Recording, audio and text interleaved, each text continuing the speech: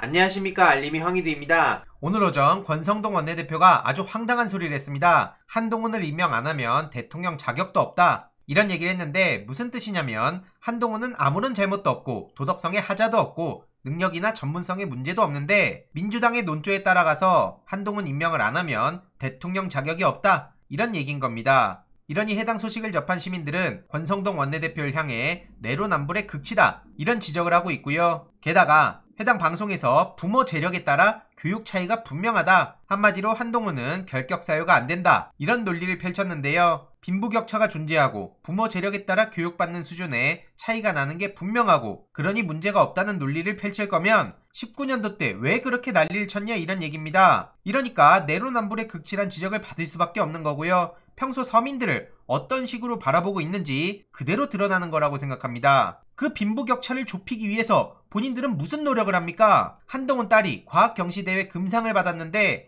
이 또한 대학 입시를 위한 스펙 쌓기용이라는 의혹을 받고 있죠. 노트북 수십 대를 기부했던 업체인 한국3M이 후원을 했다고 알려져서 눈길을 끌기도 했습니다. 이와 관련해서 이익원 지원단장은 한국3M과 글로벌 기빙 등 기업체가 행사에 후원한 사실이 없다. 이렇게 입장을 전하기도 했는데요. 이렇게 증거 사진까지 공개가 돼 있는 상황이죠. 만약 윤석열 잣대였다면 한국 3M 압수색해서 후원을 했는지 안 했는지 안 했으면 왜 저렇게 박혀 있는지 한국과학기술지원단도 들여다보고 이러지 않았겠습니까? 그런데 참 조용하죠. 이외로도 한동훈 딸이 대회에 출품한 논문은 대필 의혹이 제기된 논문 중 하나인데 만약 그게 사실로 확인될 경우 한동훈 딸은 한국과학기술지원단의 업무를 방해한 셈이 돼서 여기에 대한 문제 제기도 계속 나오고 있습니다. 이외로도 뉴스타파에선 어제 저녁 한동훈 장녀가 약탈적 학술지의 표절 논문 투고 또 확인했단 보도를 하기도 했죠. 이번엔 이탈리아와 독일의 연구진이 1년 전 발표했던 학술 논문의 내용을 베낀 것으로 드러났고요. 그래서 한동훈 장녀와 조카의 표절과 약탈적 학술지 논문 게재 패턴이 매우 유사해 보여서 한동훈 딸이 그 뒤를 그대로 따라가려는 거 아니냐라는 지적이 나오고 있는데 둘 모두 고등학생들끼리 진행할 수 있는 연구 수준을 크게 넘어섰다는 지적까지 나오고 있죠. 게다가 이 둘은 팬데믹 타임스라는 인터넷 언론의 공동 창업자기도 하고요. 이에 대해 한동훈 측은 문제가 없다는 식으로 해명을 했지만 한동훈 딸의 논문 인용 출처 및 참고 문헌은 표절 대상이 됐던 논문에 있던 걸 그대로 옮겨온 것에 불과하고 정작 표절 대상 논문은 참고 문헌에 적시도 안 하고 카피킬러를 교활한 표절로 피해가고 이런 꼼수를 저지른 거에 대한 문제 제기가 계속 나오고 있는 겁니다. 도대체 공정을 외치던 스카이 대학 학생들을 비롯한 언론, 검찰 뭐하고 있는지 계속해서 지적할 수밖에 없고요. 최근 이재명 대학말하고 되도 않는 언플하던 윤희숙 씨가 공천 배제됐다는 소식이 전해졌죠. 지역 연고가 있는 후보가 적합하다는 취지로 밀어냈는데 이후로 최원식이라는 사람이 급부상됐다는 얘기가 나왔습니다. 인천 출생으로 과거 민주당에도 몸을 담았던 사람이라는데 방금 전 단독 보도가 나왔네요. 최원식 전 의원이 국민의힘 공천 제안을 거절했단 겁니다. 출마해도 이기기 쉽지도 않고 과거 민주화운동이 부정될 수 있다는 점을 고려했다고 하는데 누가 나오던 간에 이재명 후보를 꺾을 수 있는 사람은 없어 보이고요. 이준석 대표가 계속 되도 않는 말장난을 하고 있는데 이재명 후보 비난을 넘어서 문재인 정부 5년 평가를 해달라고 하니까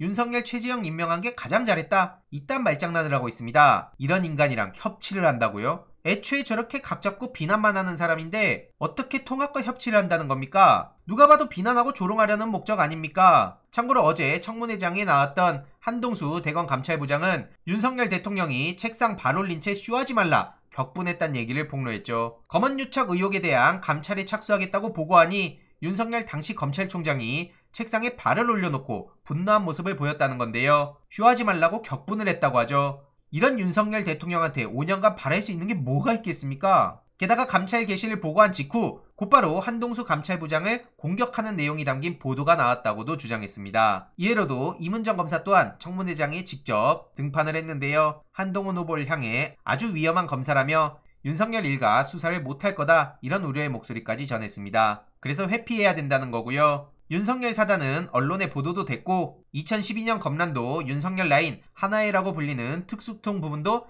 널리 알려져 있다. 이런 입장을 전하면서 윤석열 사단이 약간 위험하다는 얘기까지 했습니다. 한동훈 후보는 검사 블랙리스트 업무에 관련자라서 위험하다고 생각했다는 얘기까지 전했고요. 핸드폰 포렌식을 거부한 행위 또한 검사로서 법무부 장관 후보로서 국민들께 안 좋은 영향을 끼칠 것이라고 따끔하게 지적을 하기도 했습니다. 해당 소식을 접한 네티즌들도 아주 위험한 인물이라며 법무부 장관 인선을 무조건 막아야 된다. 법 어기고 피하는 사람이 법무부 장관이라니 나라 꼴이 하루아침에 참 우스워졌다는 얘기까지 나오고 있죠. 이런 와중에 언론에선 거침없었던 한동훈의 말말말이라며 한동훈 말을 열심히 띄워주고 있는데요. 언론 정상화가 시급하다는 생각밖에 안 드네요. 모든 언론인들이 잘못한 건 아니지만 해도 해도 너무한 거 아닙니까? 당장 윤석열 출퇴근길 우려 터졌다는 얘기도 지금 나오고 있는데요. 올림픽 대로에 1시간 넘게 정차시킨 이유라는 글이 올라와서 커뮤니티를 발칵 뒤집었습니다. 이유가 어린이날 전날 강릉에서 오후 일정을 마치고 올림픽대로를 통해 차량으로 귀경했는데 경호로 인한 차량 통제가 벌어졌다는 거죠. 이해로도 서울시내 교통 정체를 걱정하는 목소리가 계속 나오고 있고요. 실제 경호 사항이라 그런지 아닌지까진 아직 확인하긴 어렵지만 온라인상에선 여기저기서 불만이 계속해서 터져 나오고 있고 불편을 토로하는 목소리도 계속 나오고 있고요.